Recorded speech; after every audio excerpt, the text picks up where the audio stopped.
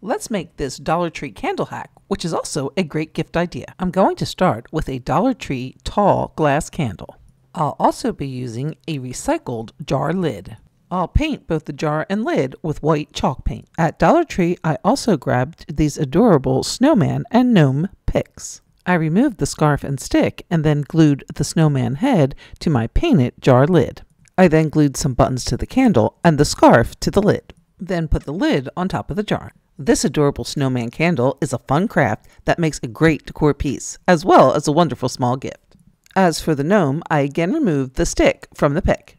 For the candle, I picked up this small red jar candle already with a lid in cinnamon cashmere scent at Dollar General for just a dollar. The red color is perfect as is, so no need to paint, and all I'll need to do is remove the label. Then just glue the head to the lid and fluff the beard. Get more candle hacks on the FABEDhacks YouTube channel.